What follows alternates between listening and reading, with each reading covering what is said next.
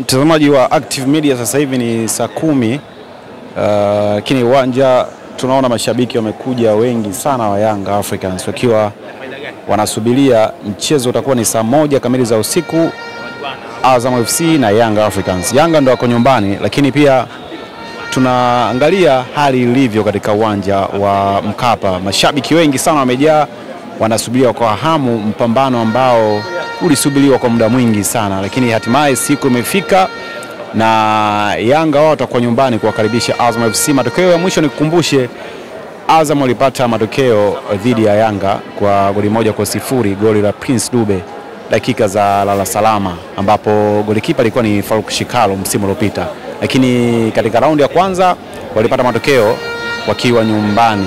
Uh, Azam wakiwa nyumbani, Azam uh, waliweza kufungwa goli moja kwa sifuri, goli la Deus Kaseke.